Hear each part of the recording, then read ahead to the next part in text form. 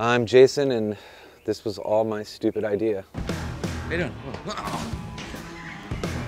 No ball slapping, testicle tapping, or nut punching allowed in the shop. 10 years ago, we started Douche LaRouche, a bunch of like-minded guys, just wanted to build bikes and hang out. And Like, I'm like the punk rock Peter Pan, and this is my Neverland.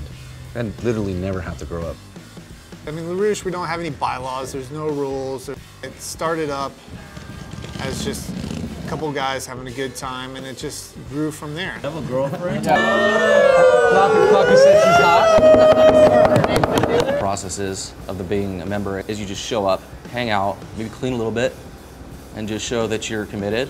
Everyone comes from different backgrounds, and the cool thing is we come together and help each other. To me, that's what this means. Got your little owl outfit, so when you're going pigeon hunting, try it on. I think you should literally try it. Ah, yeah, on. Normally, I wouldn't do this, but because there's cameras. Walk the bar, walk the bar. Bum, ba, dun, dun, dun. With the the sleeves are so That's small. not the sleeve. As dysfunctional as we all are, we mesh. It works. Being a LaRouche, it just fulfilled something that I was needing. I think with a brotherhood, it's just support. It's a brotherhood, being there for them. If they're going through some troubles, and just anything a best friend would do. Being part of LaRouche is supporting your brother, making sure that they're successful. Brotherhood, it's, it's earned, it's not given.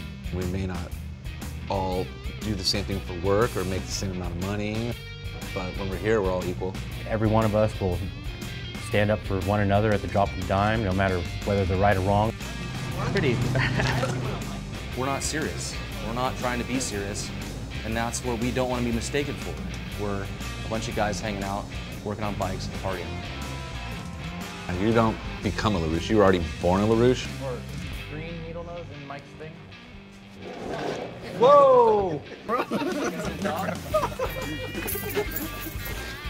When you need something, these are the guys I call first.